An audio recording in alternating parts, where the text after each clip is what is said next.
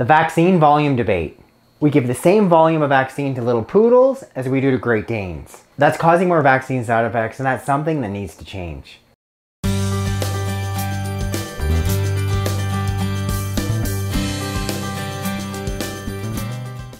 Hello, welcome back to my channel. If you're new, welcome. Click there to subscribe. Hit the bell to sign up for notifications. Then when you click the link directly in the box below, I can send you a copy of my free book. Imagine you have two dogs and they're going to see your veterinarian. You've got a note in the mail. They're due for boosters. So you bring in number one, Andrew, me, who happens to be about the size of a Great Dane. And number two, little Tula. Yeah, what is she, like 20-ish pounds? A little poodle. Your friendly vet says, here's what Andrew the Great Dane is gonna get. Yeah, looks like a lot. It's a big dog. But little Tula, she's about a tenth of the size of Andrew the Great Dane.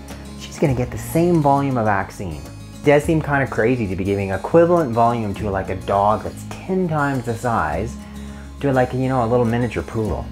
What is that? If you were to have any of the COVID-19 vaccines along with the booster, you probably noticed that when you came time to your third booster shot, you got half the dose of volume of vaccine. Hmm.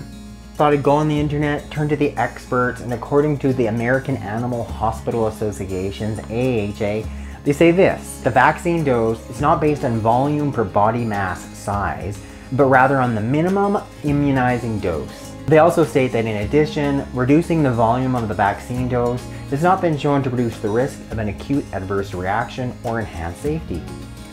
I if that's completely factual. I mean, these guys are the experts on veterinary vaccines, right? Like, clearly they must be most knowledgeable of all the current research and, you know, what they say is fact. Hmm. Turns out you can do a little bit more research and find out that there actually was a 2005 retrospective study. So what they looked at is over a million animals being vaccinated with over 3 million vaccine doses and what they found was that there was actually a direct correlation between the incidence of adverse events and the size of the dog. Meaning Andrew the Great Dane is less likely to have a vaccine reaction than Tula the Poodle. Go figure. Because actually it makes sense to me. Like I get this giant volume because I'm a big Great Dane. Give the same amount to little teeny Hula.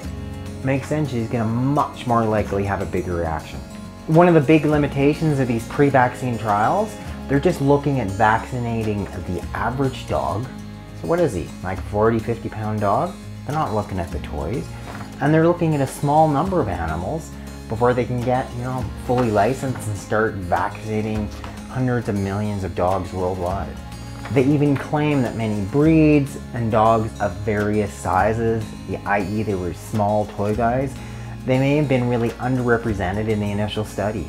Yeah, here we are based on that study saying like every animal, regardless of size, they're gonna get that 1cc volume of vaccine. Hmm. They claim in this retrospective study that they actually had a relatively small amount of adverse events.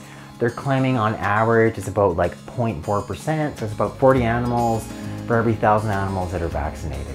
But it doesn't take a rocket scientist to figure out like this escalating incidence of autoimmune related diseases. Look at all of our dogs with allergies, for instance.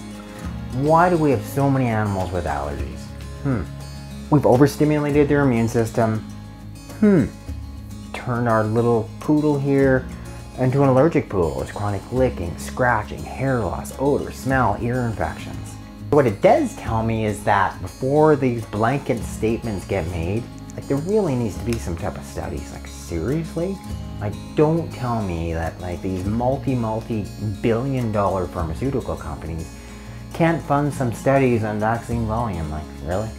Number two, I mean give your dog, give your cat, give them less vaccines.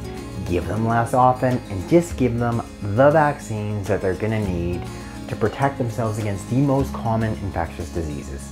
I've done some previous videos on this, but in the description box, I'll put in my suggested vaccine regimen for puppies and for kittens.